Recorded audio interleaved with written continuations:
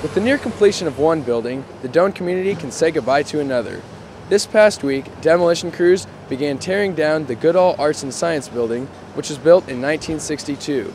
Plant manager Mike Hartwell says over the years, the usefulness of the building was depleting. In the last 10 years, we built the new Lied math and science building, which took the place of the science features that the building had.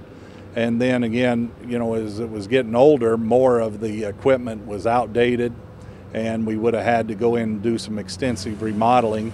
And to do extensive remodeling, you have to take into consideration the materials that are in the building. So we would have had to spend a lot of money to do that type of thing. And what we had in place was something that, you know, was already serving the science part of it quite well. Hartwell says, due to state law, the college had to have the building free of certain debris prior to demolition.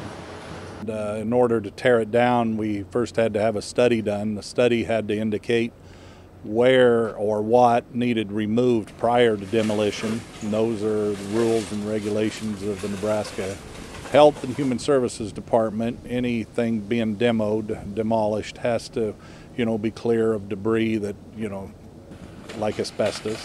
We did the study. The study showed what needed to be removed, which was some floor tile, some adhesive for the floor tile, uh, some insulation, some ceiling uh, tile, some ceiling in the hallway, different things like that. And over a three week period prior to them starting to de demo the building, we had them remove all that asbestos. Hartwell says the future of the demolition site will be an open green space for everyone to enjoy. For DCTV, I'm Adam Burmood.